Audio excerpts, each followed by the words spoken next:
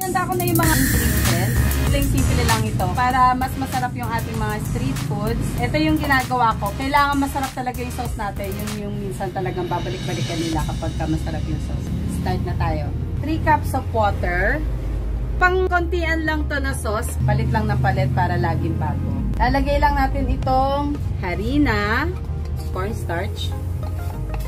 Mimix lang natin brown sugar. Ano natin? Hanggang sa kumulo siya, huwag natin papabayaan sa halo. Kita nyo? Malapot na. Ting bawang, onion. After a minute, tuto na to. Lalagay na natin itong siling labuyo. Titikman ko. Ang hang. Ito na ang ating lab.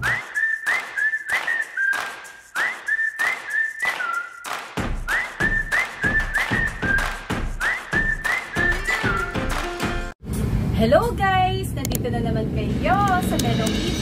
Ngayon, isi-share ko sa inyo kung paano ako nagluluto ng fishball sauce. Yun na din yung pinang-sauce ko sa mga kikiam and mga kwek-kwek. Share ko sa inyo kung paano ko to piniprepare and kung paano ito nagugustuhan ng mga customer ko. Kung ready na kayo, samahan nyo ako. Tara!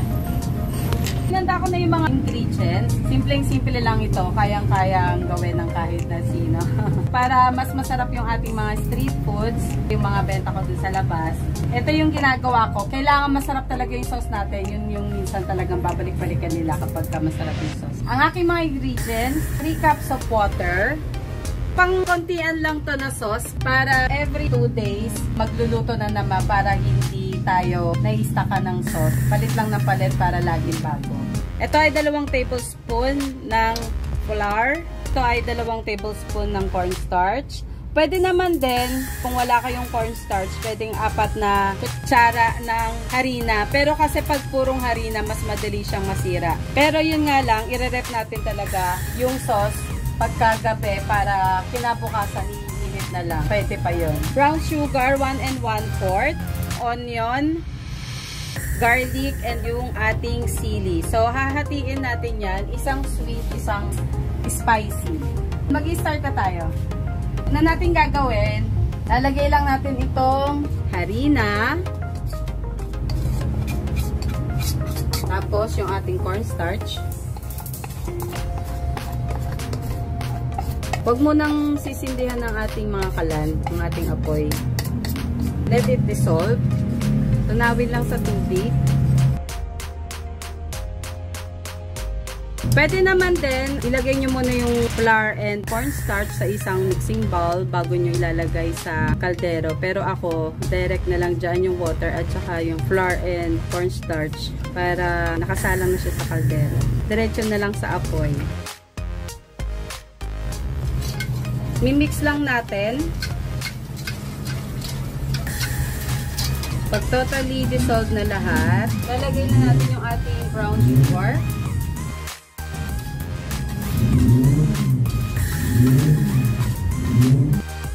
Tunawin lang ulit.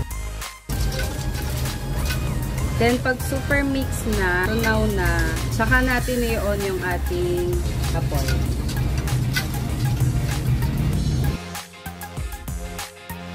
Ayan, nakita nyo, tunaw na.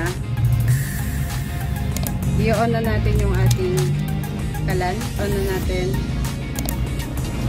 Tapos, wag papabayaan sa halo. Ayan. Simpleng-simple lang, pero yun nga. Dagdag pa nila sa ating sari-sari store. Dagdag kita. Dagdag panghakot sa customer. Hanggang sa kumulo siya, huwag natin ipapabayaan sa halo para hindi didikit.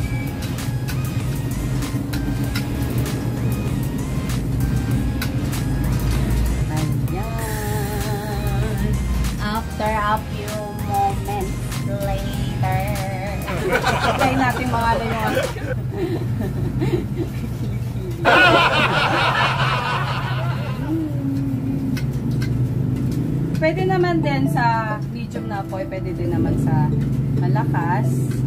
Pero wag nga lang papabayaan sa halo. Ito yung sa akin nakatodo.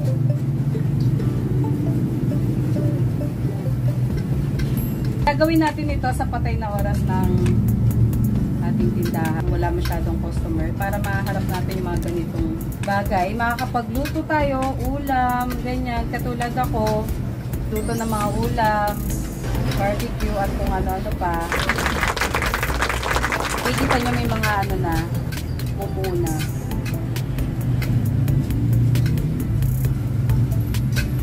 Yan.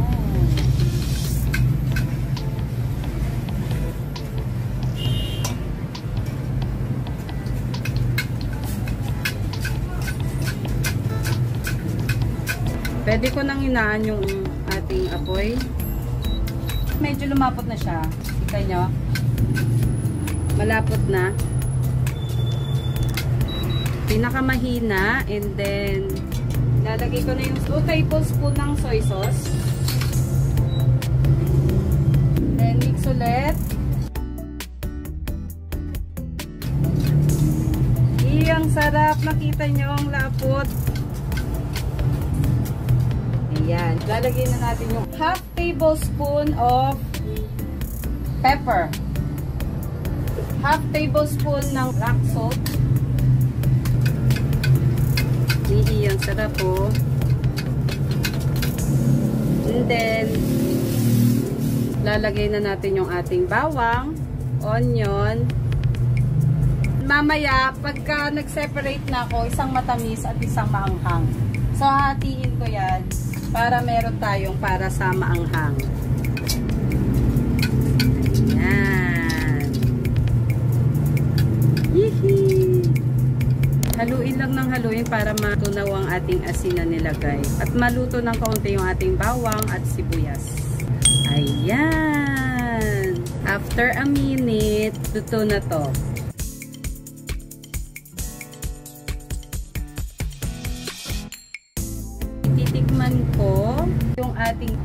Fishball sauce. Pwede sa kikiam, sa fishball, at pwede rin sa kwekwe. Mmm. Manamis-namis. Sarap at malapot. Tip ko lang, huwag kayong gagawa ng marami para every other day pwede tayong magluto para bago lagi yung ating sauce na ihanda sa ating mga customer. Ayan. Okay, done with our fishball sauce. Tada!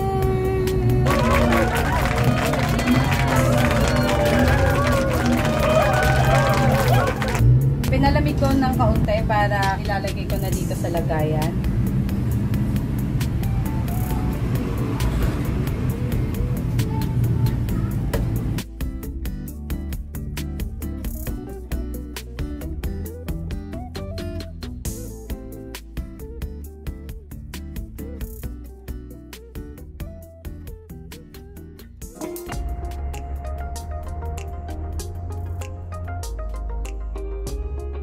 Kalahati na, pwede na. Para yung tira, sama ang pangalan. And we're done! Napili ko si Papa ng itlog. Dalawang tray. Yung lagay? Oo pa. So yun na lang. Saan na yung takip? Ito na ang ating fishbowl sauce. So yung kalahati na natira para naman sa maanghang. Okay, may tira pa tayo para sa Lalagay na natin itong ating siling labuyo. Oh! Ayan, dami di ba?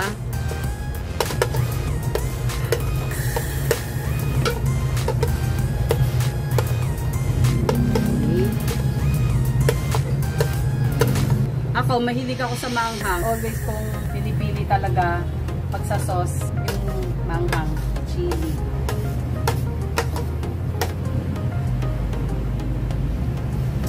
Umiinit ko lang ng konti.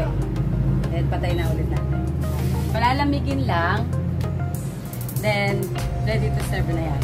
Yan muna ang mag-share ko sa inyo for today. Hope na makatulong ako sa mga naghanap ng solusyon sa kanilang fishbowl sauce. Kung nagustuhan nyo sinare ko, please like, share. Ring the notification bell, comment and subscribe to my channel para palagi kayong updated sa mga bagong videos i-upload ko. See